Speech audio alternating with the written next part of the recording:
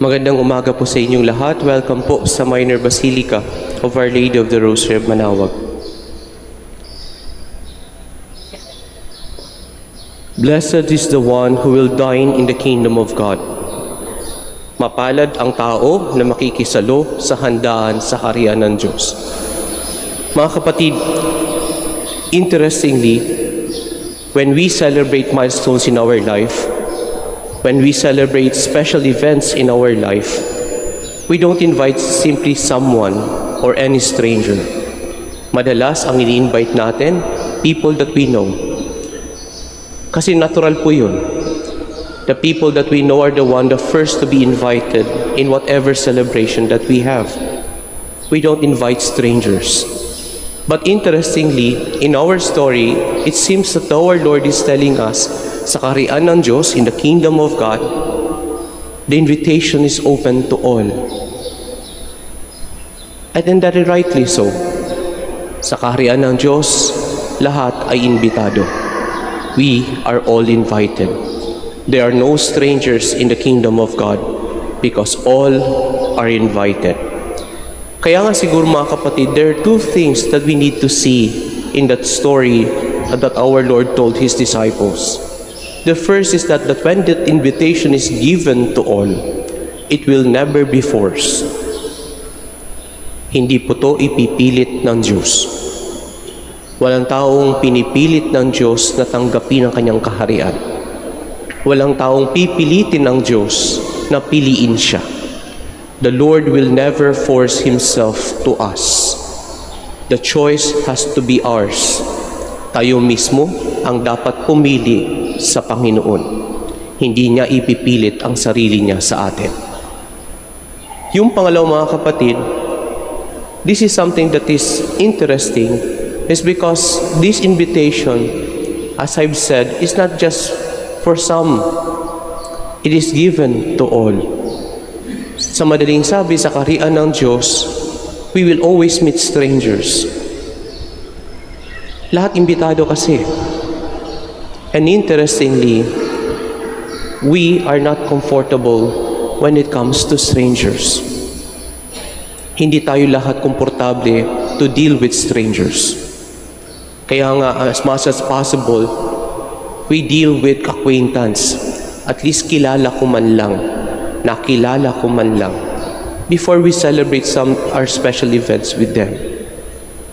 Alam niyo mga kapatid, kagabi, we were watching a, a movie sa Netflix ng title po, Find Me, Find Me Falling. Hindi ko po ikukwento ang storya sapagkat ayoko naman pong pangunahan kayo kung hindi nyo pa na ito napapanood. Pero maganda po yung kwento. Ang kukunin ko lang po yung parte doon na pwede nating gamitin sa ating, sa ating reflection. At yun po yung pag-uusap ng nanay at ng anak niya. Ang sabi ng nanay doon sa anak niya, you have always chosen the easy path. Ang sagot ng, bat, ang sagot ng, ng anak niya, sabi niya, I went to medical school, I raised a daughter on my own, Can you say that it is in an easy path? Pumunta ako, nag, pinag-aral ko ang sarili ko sa medical school. Nagpa, nagpalaki ako ng anak na mag-isa. Easy path ba yun? Sabi nung, sabi nung bata, nung anak sa nanay. Ang sagot ng nanay, because you did it all on all your own. You did not give your heart to someone. You did not take the risk of the pain of togetherness. So that is an easy path. Ang sabi ng nanay, being on your own is easy, but being with someone is hard. Mga kapatid, interestingly, when we, when we speak of the kingdom of God, we cannot choose to be alone. We cannot say, Lord, I want to be on my own. In fact, the path that our Lord gives to us when we're going to choose the kingdom, it's always with someone or with people in our life. Kaya nga po, yun ang, that is not the easy path. That is always the hard part of being called by God. Even in our religious life, Walang pwede magsabi po na, I want to be alone. That's why I choose religious life. In fact, mal- mal- malinaw yun sa amin that if we want to choose this religious life, we have to be with someone. We have to live in a community. And I tell you po, it is not easy. Palagay ko naman po sa may mga asawa, ganun din naman. Sasabihin niyo, Father, kung nahihirapan kayo, mahirap din sa amin. Lalong-lalo na kapag ang mister namin nagbago na. O ang misis namin naging beast mode pagkatapos ng marriage. It's not really an easy path. It is always a hard one. But that is exactly why our Lord is calling us to be with someone. Because we perfect the choice of being with God always with someone.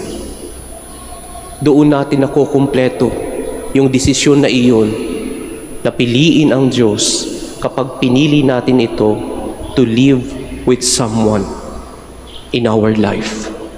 Kaya nga siguro mga kapatid, as we continue our celebration of the Mass, yun ang ipag-isipan natin po. Have I chosen the Lord freely in my life? Pinili ko ba ng, ng buong buo ang Diyos sa buhay ko? Hindi ako pinipilit na piliin siya. At yung pangalawa, and if, I have chosen the Lord in this path, then did I choose the Lord to live the hard way, which is being with someone? At yung choice na iyon ba, hindi ko pinagsisisihan. Hindi ko ba pinagdududahan? Hindi ko ba linalait at rinireject sa buhay ko? Because somehow, at the end of the day, when we have to face God, we will always be evaluated. We will always have to face the choice that we have made. And the Lord will always ask us, Have you perfected the choice that you have made for me? At mga kapatid, yun lamang ang tanong ng Diyos sa atin siguro. And so, indeed, blessed is the one who will dine with the kingdom of God. Because that someone has chosen the Lord freely, and that someone has chosen the hard way of dining with the Lord. Amen. Please all stand.